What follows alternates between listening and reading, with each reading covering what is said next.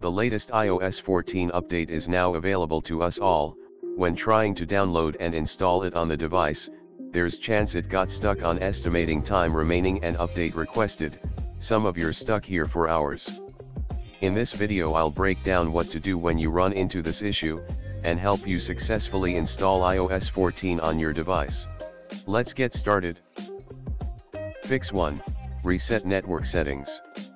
Step 1, in Settings, go to General, Reset, then Reset Network Settings.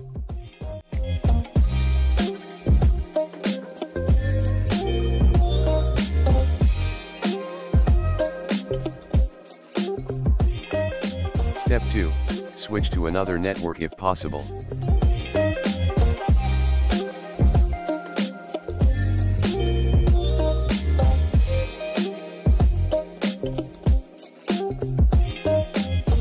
3, go to apps using WLAN and cellular, then make sure you have allow settings to use data.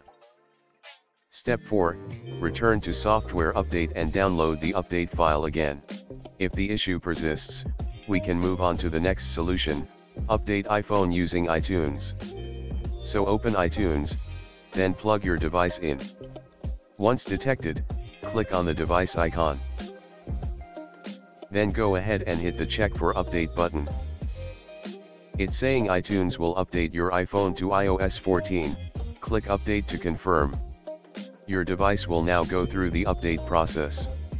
If iTunes is giving you errors, skip ahead to the next solution, repair iOS with ReiBoot. You'll find a link in the description below if you'd like to download. So make sure your device is still connected, then go to repair operating system section, then fix now. In this step you'll get the latest iOS firmware for the device, just click on the download button. Once downloaded, we can start the repair.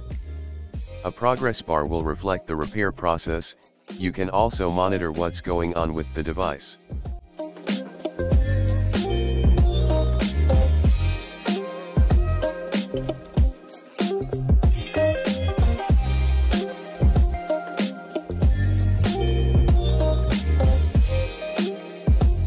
Well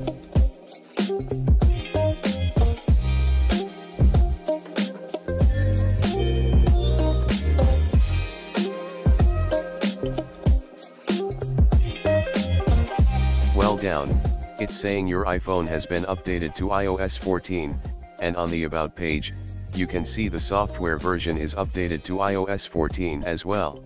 You can now change to the new iPhone wallpaper if you like, add some widget to the home screen, and enjoy all the other features.